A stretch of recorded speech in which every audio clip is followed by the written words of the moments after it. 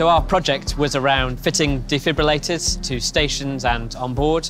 We wanted to ensure that uh, we could intervene positively with any customers that were struggling with uh, sudden cardiac arrest.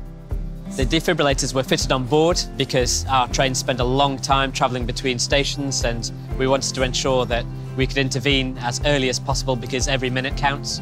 We have 135 defibrillators across the whole route at our stations and also on board our fleet of 65 new Azuma trains that we're just currently rolling out across the network. So we invested more than £100,000 in the initiative. Uh, we wanted to ensure that we got the best of the equipment that was available.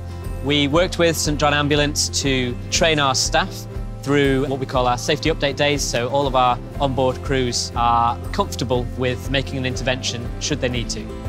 The defibrillators on the train are amazing. We had a passenger who was travelling with LNER.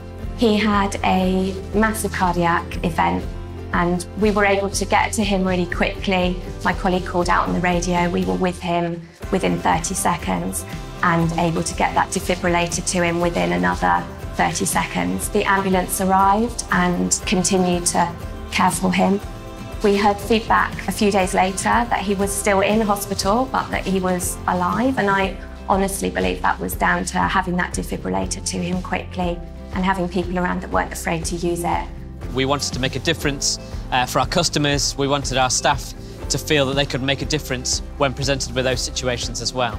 The team on board have risen to the challenge of embracing something that's new, a little bit challenging, probably a little bit scary, and I'm really proud of them and proud of my team uh, for uh, pushing through and doing the hard work to making this a reality.